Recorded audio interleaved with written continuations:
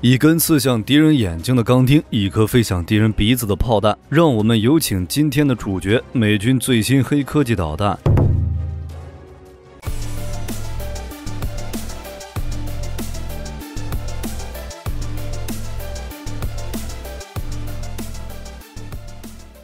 众所周知，雷达是现代战场上的千里眼、顺风耳。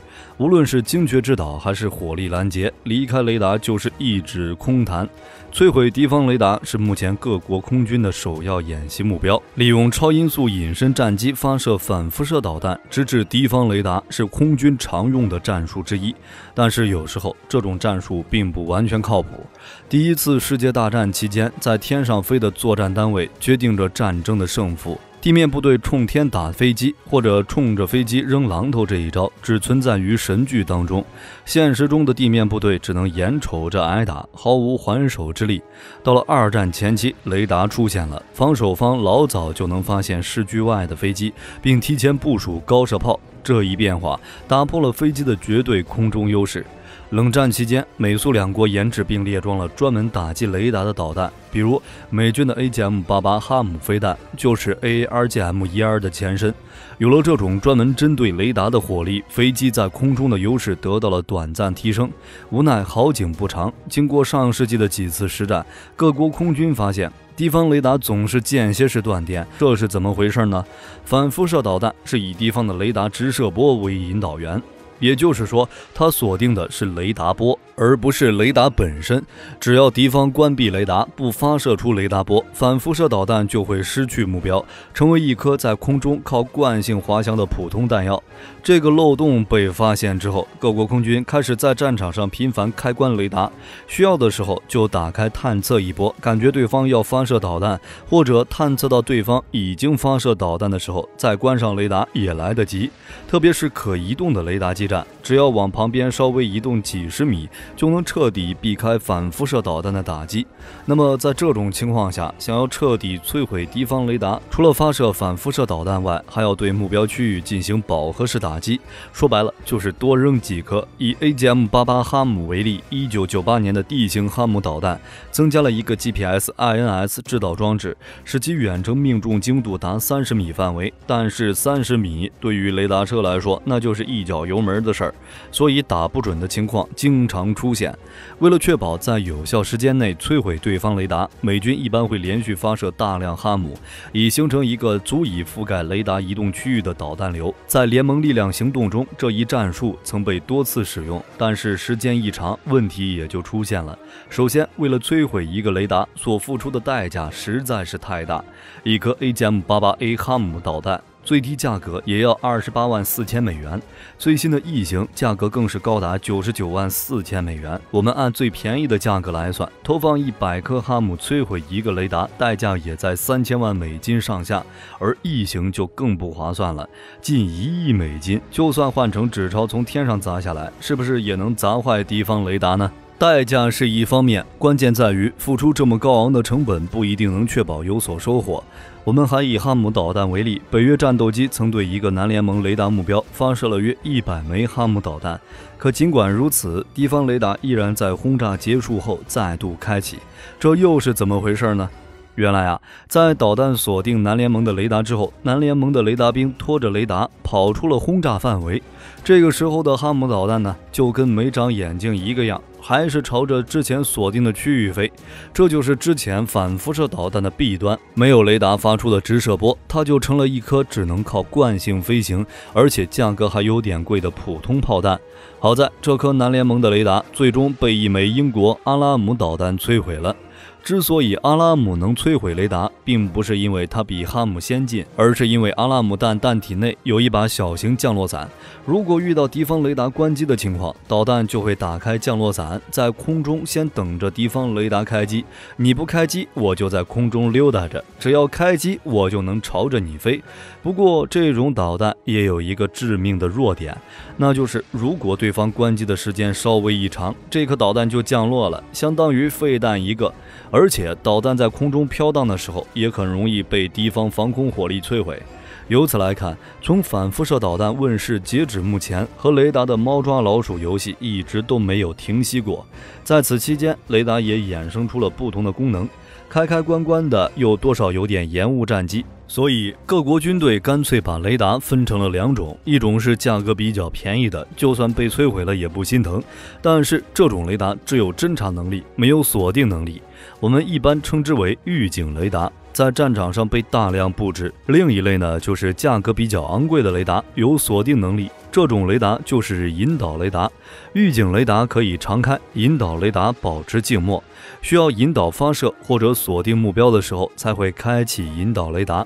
这么做的目的就是为了避免价格更贵、战场作用更强的引导式雷达被反辐射导弹摧毁。如此一来，摧毁引导式雷达就变得更加困难了。为了撕开对手防空系统的口子，多年美军研发人员不断为反辐射导弹赋能，推动其一再升级。二零零五年，美国国防部和意大利国防部共同投资开发了 AGM-88E AARGM，也就是我们今天的主角。ER 即为增程式，AARGM-ER 的前身是 AARGM。AARGM 导弹的出现，就是为了解决敌方雷达频繁关机所造成的导弹哑火，并且能够在众多预警雷达中准确找出引导式雷达的位置。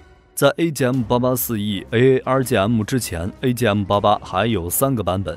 AGM-88A 首次实战为1986年美国空袭利比亚，由 D-131 舰载战机中队的 EA-6B 所搭载。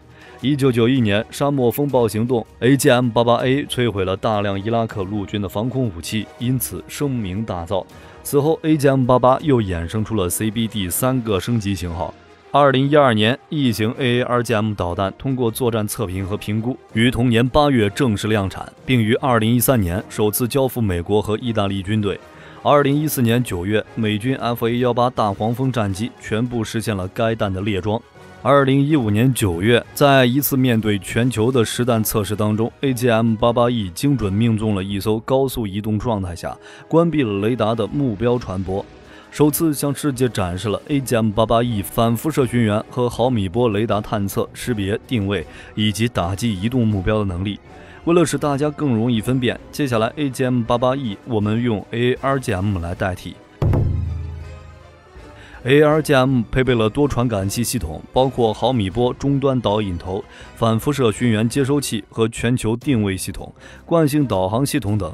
在制导方式上，集成了双向数据链和数字地形技术，惯性制导加 GPS 卫星制导加有源主动毫米波雷达制导加宽频带无源被动雷达制导，这一复合制导体彻底解决了雷达关机后反辐射导弹无迹可寻的问题。当失去雷达波这个辐射源头之后，ARGM 依然可以利用卫星成像等多种方式来锁定目标。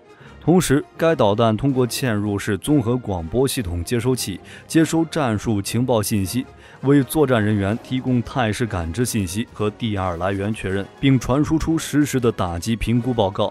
也就是说，导弹会告诉发射员前一发导弹到底有没有命中目标，还要不要打第二发，从而避免了重复攻击造成的弹药浪费。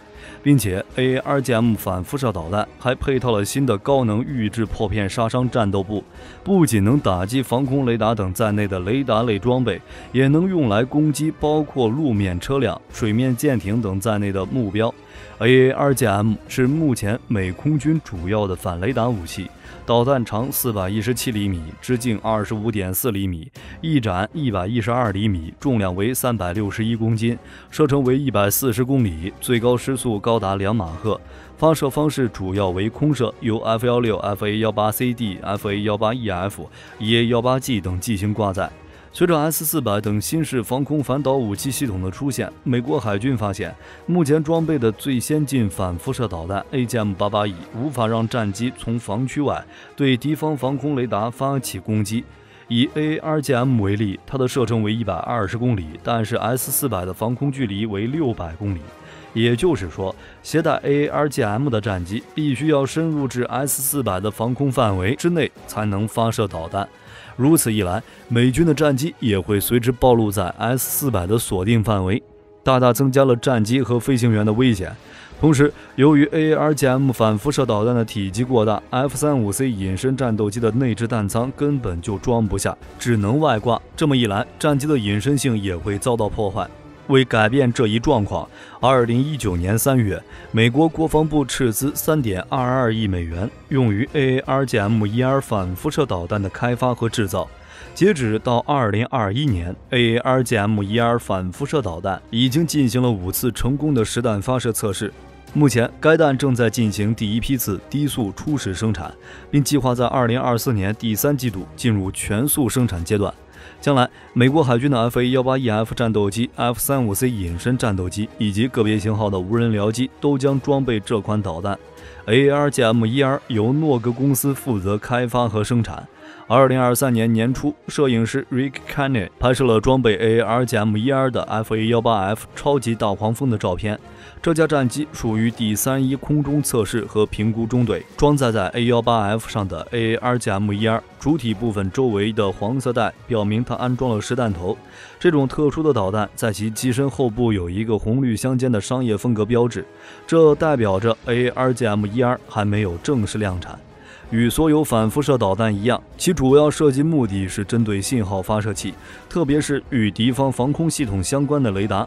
目前正在开发的 ARGM-ER 反辐射导弹拥有多平台发射能力，不光可以通过战机进行发射，还能通过陆海机集装箱发射，甚至是 M142 远程多管火箭炮等其他发射平台，从而提升了 ARGM-ER 反辐射导弹使用上的灵活性。